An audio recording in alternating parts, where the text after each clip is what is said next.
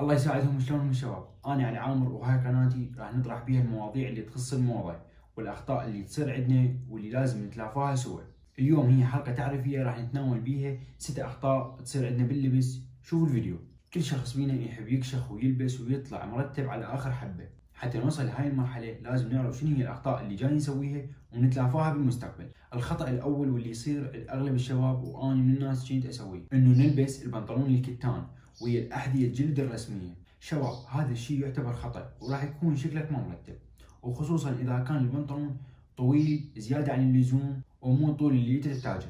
دائما حاول بهيج بناطيل تقصرهن وتخليهن على المقاس اللي يناسبك سواء كان طافر بطريقة مرتبة أو شوية بطول نلبس وياه ال training shoes الأبيض أو الحذاء الرياضي. نقدر نلبس وياه أيضا ال top sider.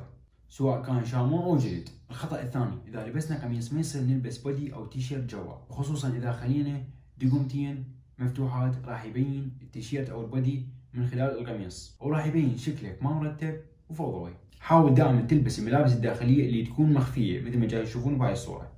راح يكون شكل القميص أرتب وأنت راح تكون الكاريزما مالتك أفضل. الخطأ الثالث لا تخلي ربطه العنق طولها قصير يعني يوصل للصره أو تكون طويلة زيادة عن اللزوم بحيث تعبر خط الخصر دائما خلي ربطه العنق اللي هي الرباط وهي حد الخصر حد الحزام.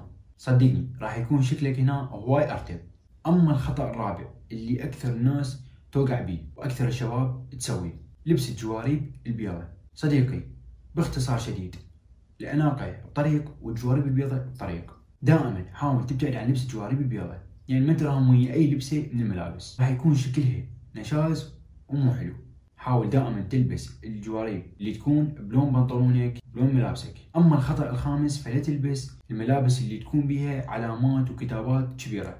هيك أنت راح تكون مجرد دعاية لهاي الشركات العالمية وأنت ملابسك معروف سعرها ومو ذيك الأناقة اللي إحنا نريد نوصل لها. دائما حاول تلبس الملابس السادة أو بها نقشات تكون خفيفة وراقية.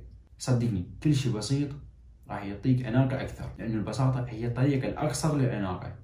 أما الخطأ السادس والأخير اللي هو من نلبس ربطة حاول دائما تبتعد إنه تلبس جفية اللي تكون بجيب السترة بلون الربطة. دائما حاول تنسقها بألوان السترة أو بألوان القميص أو بألوان النقشة مال الربطة. هيك راح تكون الكاريزما مالتك أعلى وراح يكون لبسك أرتب ومقبوليتك راح تكون أفضل. وبنهاية المقطع ماكو واحد طلع من بطن أمه يعرف يلبس صحيح. دائما خلونا نتعلم سوا وما نستحي من إنه نسأل هاي اللبسه صح أو خطأ؟ كان وياكم علي عامر؟ شكرا لكم.